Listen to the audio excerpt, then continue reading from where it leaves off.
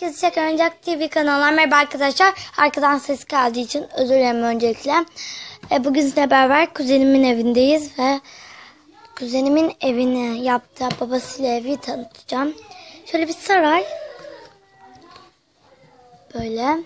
Bakın pencereleri var arkadan. Şöyle sato. Arkadaşlar arkadan ağlama sesi geliyor. Çok özür dilerim. Çok çok özür dilerim. Neyse burada bakın bir yatak var böyle çiçekli. Şurada bir at resmi var. Böyle pencereler. Burada gardırop ve masa var. Burada bir çalışma masası tarzı bir şey var. Burada böyle dolap tarzı bir şey var. Komodin.